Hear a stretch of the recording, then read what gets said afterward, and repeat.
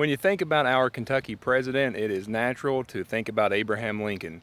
But Zachary Taylor moved with his family as a child from Virginia to Kentucky and is buried in Louisville, Kentucky, just steps from the Ohio River.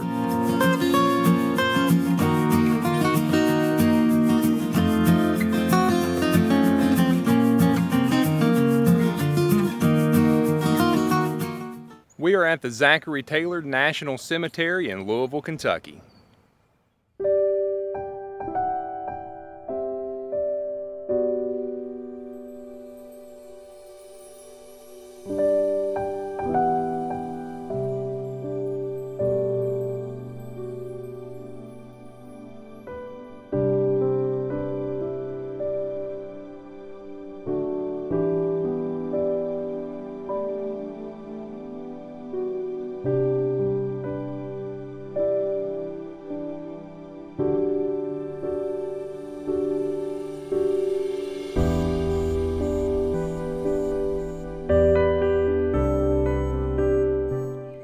Just walking through the Zachary Taylor National Cemetery and it is very, very beautiful here. Uh, very somber with all of the, uh, the veterans' graves, but uh, just a beautiful area.